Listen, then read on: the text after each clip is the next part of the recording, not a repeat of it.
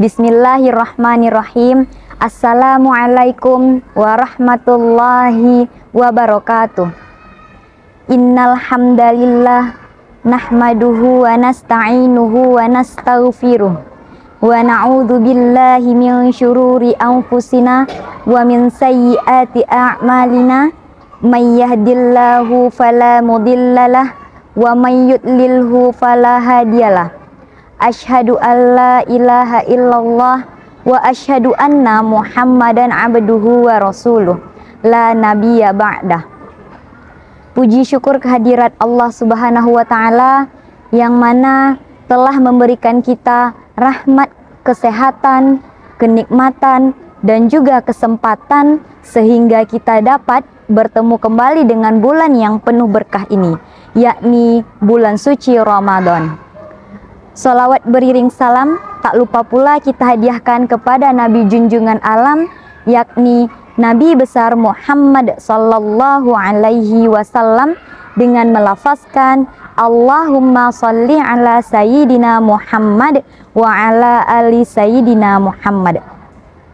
Sahabat kurma yang dirahmati Allah, Imam Baihaqi dalam kitabnya Manakib Imam Syafi'i menuliskan sebuah kisah yang sangat mengesankan yakni tentang Imam Syafi'i yang mengajari muridnya yang sangat lamban dalam memahami pelajaran.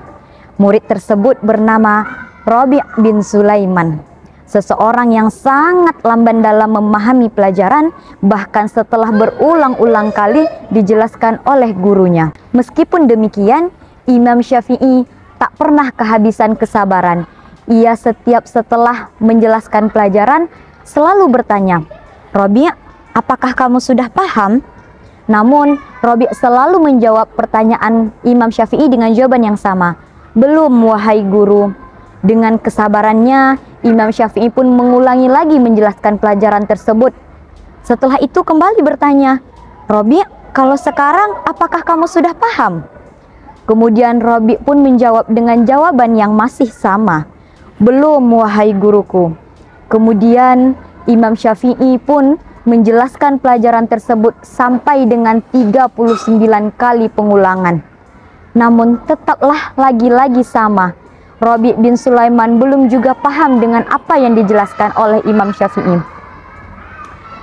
Kemudian telah merasa malu dan merasa kecewa karena tidak juga paham dengan apa yang disampaikan Imam Syafi'i, uh, Rabi bin Sulaiman pun pelan-pelan beringsut keluar dari majelis ilmu tersebut. Setelah selesai menyampaikan pelajaran, Imam Syafi'i pun bergegas mencari keberadaan Rabi' bin Sulaiman. Ia pun setelah mendapatinya, ia pun berkata kepada Rabi', Rabi' kemarilah, datanglah ke rumahku. Sebagai seorang guru, Imam Syafi'i paham betul apa yang dirasakan oleh muridnya tersebut. Maka dari itu, ia mengundang Rabi' bin Sulaiman untuk datang ke rumahnya agar ia dapat mengajarinya secara privat. Namun, Hasilnya lagi-lagi sama. Robi bin Sulaiman tak juga paham dengan apa yang dijelaskan oleh Imam Syafi'i tersebut. Mendapati muridnya yang demikian, apakah Imam Syafi'i lantas putus asa? Apakah Imam Syafi'i langsung menghakimi muridnya bahwasanya murid tersebut adalah murid yang bodoh? Tentu saja tidak. Imam Syafi'i berkata dengan lemah lembut kepada Rabi' bin Sulaiman, Rabi' Sebatas inilah kemampuanku sebagai seorang guru dalam mengajarimu. Jika itu pun belum bisa membuatmu paham, maka berdoalah kepada Allah agar Allah mengucurkan ilmu-ilmunya untukmu. Aku ini hanyalah orang yang menyampaikan ilmu, karena sejatinya Allah Subhanahu wa Ta'ala lah sang pemilik ilmu. Robi, jika ilmu itu berupa sesendok makanan, maka pasti akan aku suapkan kepadamu mendengar nasihat gurunya, patuh kepada nasihat gurunya, Robi bin Sulaiman pun uh, segera mematuhinya. Robi selalu saja berdoa kepada Allah, berdoa secara khusyuk, bermunajat kepada Allah, sungguh-sungguh dalam belajar serta ikhlas dalam berdoa. Amalan-amalan inilah yang dilakukan Robi bin Sulaiman setiap harinya. Hingga suatu hari keajaiban pun, keajaiban Allah pun datang Robi bin Sulaiman bermetamorfosis sebagai seorang ulama besar bermazhab Syafi'i. Tak hanya itu, Ia pun menjadi seorang perawi hadis yang sangat kredibel dalam periwayatannya.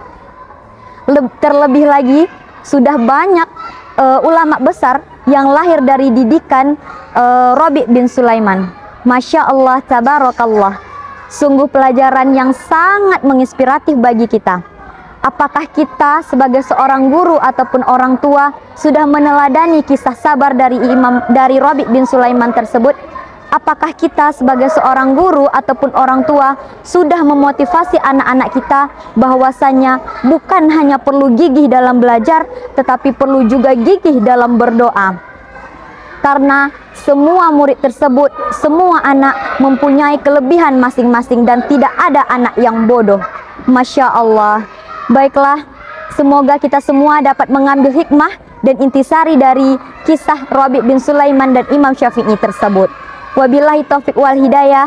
Wassalamualaikum warahmatullahi wabarakatuh.